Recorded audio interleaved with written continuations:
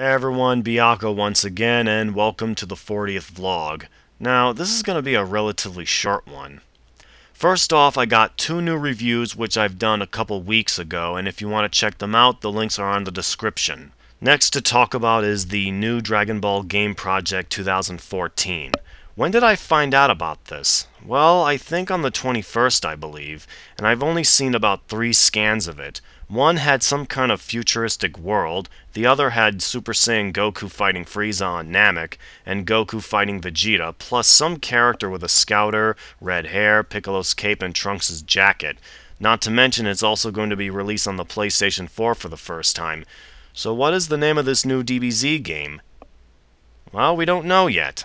We're gonna have to wait until they announce it. But I do have some good news. You all remember Sailor Moon? Well, guess what? It's being relicensed and redubbed by Viz Media, and all I can say is this.